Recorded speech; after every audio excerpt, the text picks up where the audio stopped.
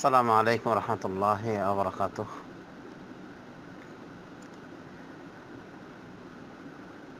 আমার নিকটে একটি লিখিত ফতোয়া এসেছে এবং ফতোয়াটির বিষয়ে আমাকে ফতোয়াতে বলা হয়েছে, সঠিক না বেঠিক?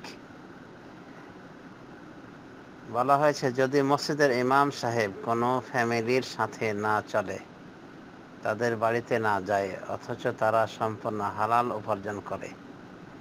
তাদের বাড়ির বিয়েতে অন্য কাজী সাহেব বিয়ে পড়ালে কমিটির একাংশ কি পারে এমন ফতোয়া দিতে যে তাদের এক ঘরে করে দাও। কেউ ওদের সাথে চলবে না, ওদের বাড়িতে সাপ্তাহিক চাল নেওয়া যাবে না।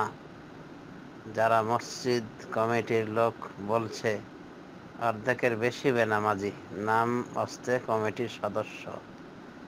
এখানে ইমাম সাহেব পুরো নিশ্চুপ, তার মানে কি?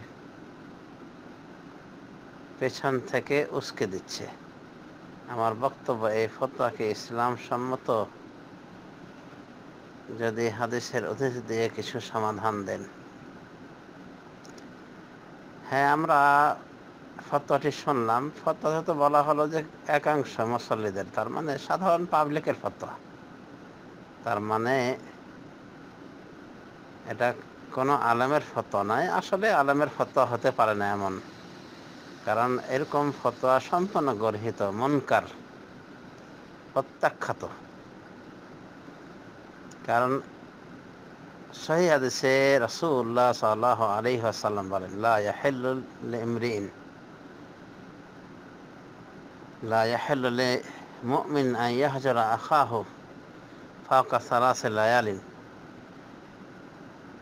يعرض هذا يعرض هذا ويعرض هذا وخيرهما الذي يبدأ بالسلام কোনো মোমেনের জন্য হালাল নাই তার ভাইকে পরিত্যাগ করে রাখা তার সাথে সম্পর্ক ছেদ করে রাখা কোনো মোমেনের জন্য হালাল নাই তিন রাতের ঊর্ধ্বে এ তার থেকে বিমুখ এ তার থেকে বিমুখ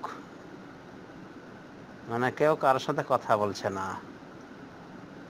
এইরকম অবস্থান গ্রহণ করা কোনো মোমের জন্য হালাল নয়। রহমা আল্লাজি এবং তাদের মধ্যে ওই ব্যক্তি উত্তম, বেশি উত্তম, যে সালাম দিয়ে সূচনা করে মানে কথার সূচনা করে সালাম দিয়ে। মানে কথা বিরতি দেয়া, কথা বন্ধ করার ধারা ভেঙ্গে ফেলে সালামের মাধ্যমে। সালামের সূচনা করে। অত্র হাদিস থেকে আমরা জানতে পারলাম যে হালাল নয় কোনো মোমেনের জন্য অপর মোমেনকে পরিত্যাগ করে রাখা। তাহলে কি করে? যে ফ্যামিলির সম্পর্কে বলা হলো যে তারা হালাল হারাম মেনে বেশি চলে, তাদের উপার্জন হালাল। অর্থাৎ ধর্মকর্ম মেনে চলে। তারপরেও তাদেরকে এক ঘরে করে রাখা, তার মানে কি? ওরা ফেরেস্তা আর এ খারাপ। হয়তো তাদের পরিচয়ে তো কিছু আসলো তথ্য যে বেনামাজি রয়েছে অনেক।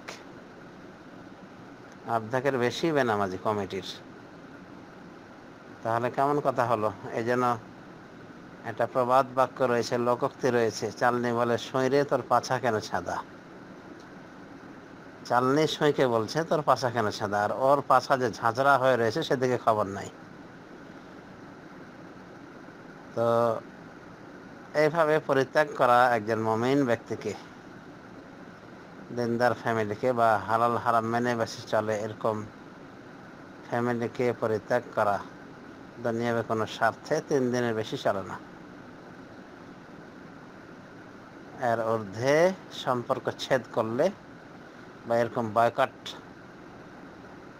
বা এক ঘরে তাদেরকে করলে, তাদের সাথে এই আচরণ করলে এটা সম্পূর্ণ হারাম এবং কবিরা গুণা এবং যারা এতে রাজি থাকবে, তারা সকলেই কবিরা গুনাহের গুনাহগার হবে।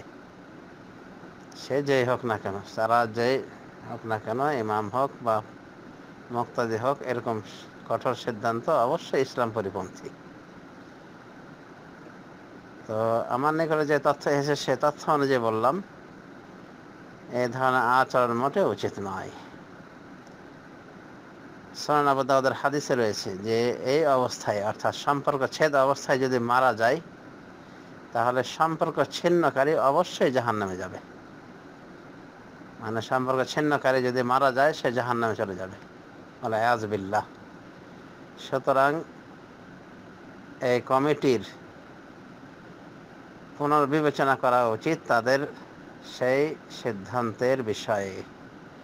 এবং মুসলিম মুসলিমে এভাবে কথা বন্ধ করে দেওয়া, সম্পর্ক নষ্ট করে রাখা, এটা মোটেও উচিত নয়। সম্পূর্ণ হারাম হারাম হারাম। আল্লাহ রব্বুল আলম আমাদের সবাইকে তৌফিক দান করুন। যেন আমরা মুসলিমে মুসলিমে সুসম্পর্ক গড়ে চলি।